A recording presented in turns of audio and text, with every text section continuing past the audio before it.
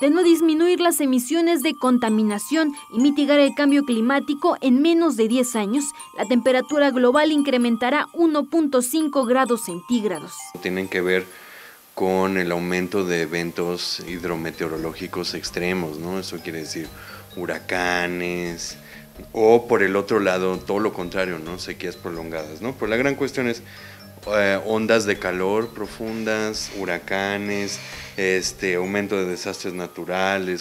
Especialistas señalan que eso detonará enfermedades de transmisión por mosquitos, cáncer de piel, padecimientos gastrointestinales, golpes de calor, déficit de atención e intelectual.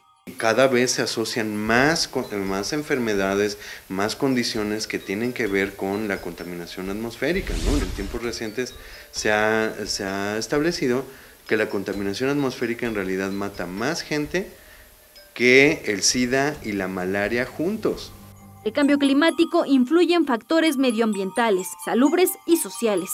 Por ejemplo, el aire humano, agua potable, la producción de alimentos y las condiciones de las viviendas. Cifras de la Organización Mundial de la Salud refieren que en los últimos 130 años la temperatura mundial incrementó 0.85 grados centígrados.